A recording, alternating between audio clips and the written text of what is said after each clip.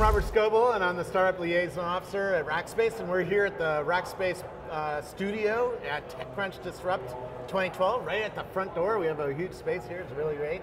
Uh, and we're seeing lots of cool startups going through the uh, startup hall, the startup alley here, and uh, pulling up the cool ones, or at least the ones I can find that are cool. Yeah. and this is going to be a fun one because uh, there's guns involved. yeah, perfect. Among eh? other things. Yeah. And we're going to talk about Kickstarter here too, which is really uh, a, a huge trend here. Who are you? Yeah, my name's Jon Atherton from uh, Hex 3. I founded that at the beginning of the year after launching a couple of products on uh, Kickstarter and then uh, getting successful and having to produce them, which uh, it's been quite exciting for the year. Yeah, we just pimped you on uh, uh, Twitter. Your Twitter address is Tunes? Yeah, that's right. I used to do software for uh, music uh, sharing called, Ah. called TuneFeed, and that was right when tu- uh, Twitter's quite young, and I managed to get the uh, pretty decent That's- handle tunes, yeah. That's pretty cool. Yeah.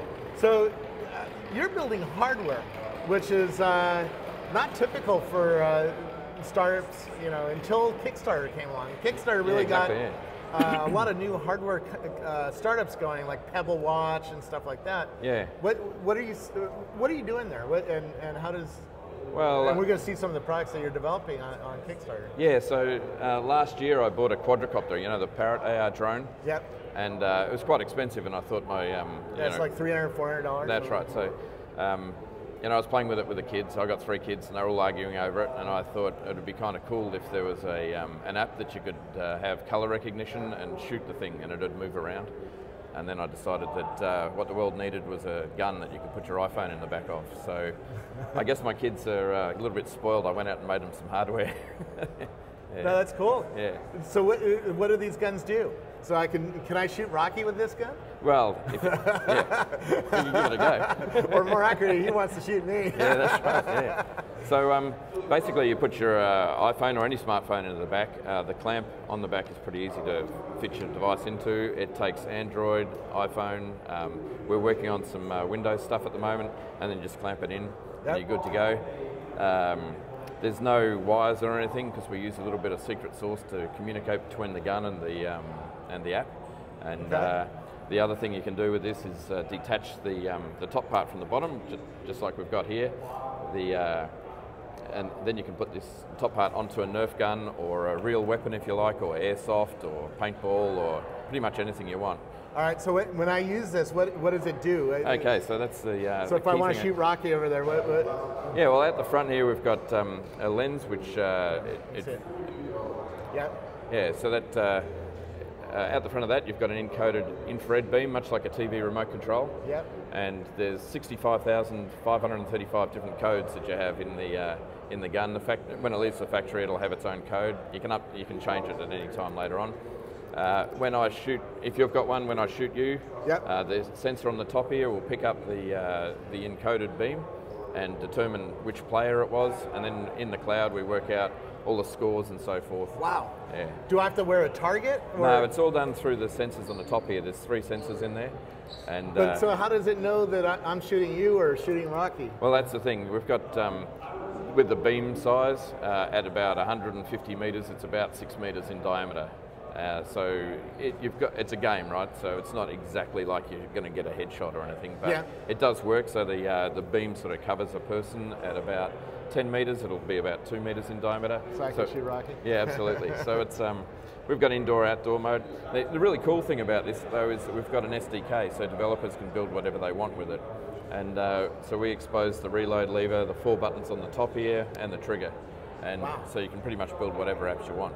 This isn't yet shipping, is it? It's, it's coming out soon? Yeah, it's very soon. We're um, we've had to uh, iterate several times. Uh, iteration in hardware takes a little bit longer than it does in software, and uh, I think we've got a really quality product now. You can see the texture and so on on there. It's um, it's much nicer than the average toy, and that's really what we're It's about six weeks away from shipping. Yeah, five to six weeks. Yeah, that's right. This is a problem with Kickstarter, though. A lot of people are starting hardware companies, and they, they haven't done a hardware company before. Yeah, You yeah. know, when I interviewed the CEO of GoPro, he told me about how he started making a little camera and, and, and getting uh, guys in China to build the prototypes, and how long it took, and how it didn't feel right at first. You know, and now Yeah. now he has a really sweet product. Yeah, that's right. But It takes a while and it's expensive.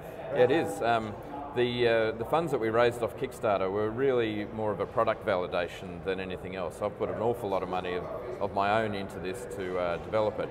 Um, I mean, just the tooling for a product like this, there's 38 different parts in it. Might not look like it, but there are. Yeah. And uh, the tooling for that's close to $100,000. So um, with all the textures and so forth in it. Yeah. And that takes maybe five or six weeks to make the tools. And then if you've got any modifications to them, it takes another week or 10 days and they just roll over. And then there's long lead time parts you've got to worry about. And then of course all of the little tiny things that can go wrong when you're making something. With software, it's always been, for me, a lot easier just to sort of get the developers to change something and you can have something to test later on that afternoon. But with this, sitting by and just throwing more money at it until it comes out the other end. But I think we've got a really good product now, and I'm very happy with how it's looking. Yeah. yeah. And plus, over the top of that, I've developed a whole lot of apps to go with it. So there's another layer again. And so on the iPhone, what will I see on the iPhone? Will well, I see a little target or? Well, what? it's basically like a first-person shooter. Okay. So you got your uh, your gun down in the bottom corner. When you pull the trigger, you see laser beams on the screen. Um, they hit the target. There's um, explosions or whatever. Um, you've got health kits and power-ups and uh, ammo packs that you can pick up and armor. And so it's virtually like playing uh, Halo, but you're doing it in real life, in the office, outdoors, kids in the backyard, basically gets them off the couch and, and playing. And how much are uh, two or three of these going to cost? Well, these are $59, which I think is an absolute bargain. Yeah, um, well, particularly after you spend 100 grand developing yeah, it, Yeah, that's right, yeah. my, my kids are getting, what, I got three kids, it's $33,000 a piece. yeah. So um, when they fit onto the Nerf guns, you, we've got a little uh, cord you can see here that goes down onto the uh, onto the trigger of the Nerf gun. Yep. So we're thinking that developers can come up with apps that'll do stuff with Nerf guns and maybe video the, the darts flying out, capture uh, you know the best shot of the day and all that sort of thing. So there's um, that's going to be awesome. Yeah, a lot of things you can do. Very and cool. you know with um, uh, games that are out there already, first-person shooter games, um, you can basically use this as a, a controller as well. So yeah, some pretty neat things. Wow, and are you recording the video of what the reactions are, or what? yeah, uh, we, so we can go watch it later. how I killed Rocky and shot him in the head. You know? we, we, haven't got quite to that level yet because we're um, we're st still building. He's not too out. happy over behind that TriCaster. yeah, yeah. So basically, there's a couple of different modes that I haven't really spoken about. We've got single player mode, which we've got a, a marker, which is much like this one. Yeah. And um, that'll. Uh, Did we have a video or a demo yeah, of what think, it looks like? Yeah.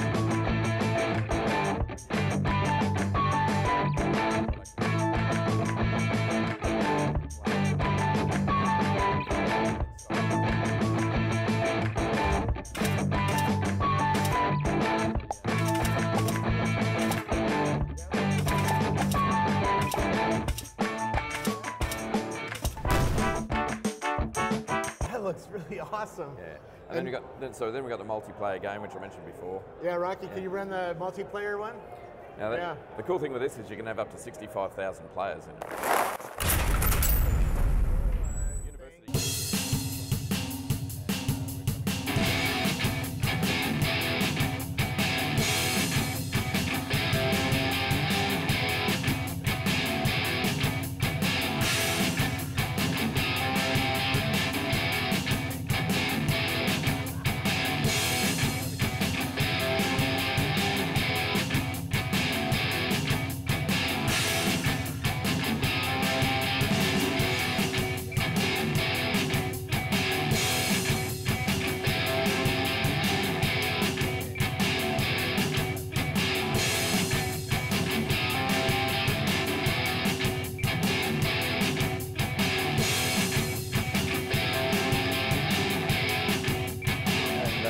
There's a little bit of uh, muzzle flash going on. Um, not sure if you'll be able to pick it up yep, in here. I, yeah, I can so you can see it at the front, but it also makes the whole front of the gun illuminate as well.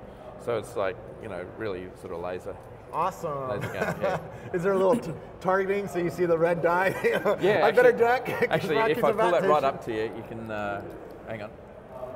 There. Yeah, you might not be able to see. Yeah. It's a bit bright in here, these lights, but you do get two little dots on the on the target that you're shooting at as so, well. So you're, uh, you know you're about to get shot. Yeah, yeah, yes. now, now, if Rocky shoots me, does something show up on my iPhone? Or? Yeah, you get uh, bullet holes across the screen at the moment. That's oh, right. cool. Yeah. And, and the other thing is we use haptic feedback in the phone so your gun vibrates as well. Ah. The really cool thing with this is that you know we've got a fairly inexpensive toy and we're using a mega brain on the top. You know, um, it wasn't possible a few years ago to be able to do the video processing. So now we've got computing power you used to have on your desktop 10 years ago in a toy. Yeah. And you can do that for $59, which is Do- pretty good. Does this work with iPod touches? Yeah, so if you iPod don't Touch have an iPhone? iPod Because a lot of kids have the iPod Touch. yeah. Absolutely, iPod Touch just here with the camera. As long as it's got a camera, it'll work. You don't need Wi-Fi or anything? uh, Wi-Fi or um, or 3G, yeah. For, but But do you need Wi-Fi to, to uh, for the for the multiplayer, yeah, multiplayer. yeah. We're working on doing some Bluetooth stuff as well, but Okay. um, the uh, and that leads me on to the secret source that we have that communicates with between the gun and the and the uh, and the app. We're using high frequency sound, which is encoded. So when you pull the trigger, we've got a high frequency sound that comes out, and a whole bunch of stuff. We've got pending patents on That's, that sort of stuff. yeah. that's brilliant. yeah. Um, and so when you're pulling the trigger, it's sending a little high frequency sound to the microphone on the on, on the iPhone. device. So basically, if it's got a microphone, it'll work. Um, Android phones, anything. And the really cool thing is that there's no syncing or pairing or battery con- consumption like you get out of a Bluetooth device. It also makes the device, you know, our gun cheaper. Yeah. And uh, so, yeah, it just How works. did you figure that out? Oh, yeah, I don't know. um, I, basically, um, I, I went through a few different ways that you can um, communicate. And the first idea was a mechanical sort of tapper on the screen, and I dismissed that pretty quickly, thinking it was going to be pretty cheap and break too Yeah. easily. And then I thought about um, a headphone socket, much like Square does. And then um, I looked up uh, damage to headphone socket on Google, and it came up with like 75 million responses because uh, people drop or bang their headphone socket, and it breaks the whole screen. So there's a big um, returns issue there, basically. If you know if you're going to break someone's phone, it's going to be bad for you. And I thought since we use, you know, I'd gone through the thought of using sound. Um, I thought, well, we could use sound above human hearing. Yep. We, had, we were here at uh, the uh, hackathon the other day, just showing it to some developers, Yep. and uh, everybody was just all over it. They Oh, thought I, it was I awesome. think yeah. it's a brilliant product, and congrats on you figuring out how to make it work. Yeah, So, thanks. Yeah, It's really cool. So how many patents do you have on this? uh, there's one, but it's uh, all encompassing a whole bunch of different things that we've sort of developed over the over the course of uh, building it out. Yeah. Very cool. That's not the only product you do, though, right? You No. have these new uh, styluses. That's right. Yeah, I was foolhardy enough to put two products up on Kickstarter fairly close together, and then have to build them out during the last year. They haven't really slowed each other down, but it's meant that my workload has been astronomical. Yep. Because um, it might appear at first that a stylus is a relatively simple thing, but there's a lot of stuff going on in here. And since we use the high frequency sound to communicate with the app in this as well, is that sort of level of difficulty. But then you've got the um, how do, how do you do the uh, pressure sensitivity and how do you um, get the conductivity between the screen and your fingers and all sorts of stuff like that. And just minor variations in um, materials cause a, a big problem, or a, and we it's taken a long time to get the material just right. So, so this is a pressure-sensitive stylus Yeah, absolutely. on an iPad. Yeah, so it allows you to do, uh, and this is a simple, this is the pairing mechanism. You turn it on. Yep. That is brilliant. And, and for people who can't see, let me see if I can get that on the camera. It, it, it actually lets you do thicknesses and yeah, it's so, pressure so sensitive. if you like, you have a go. Yeah. Just hold on to the, uh, the black part there. Give it a bit of a press down. Oh, yeah. Oh, that's nice.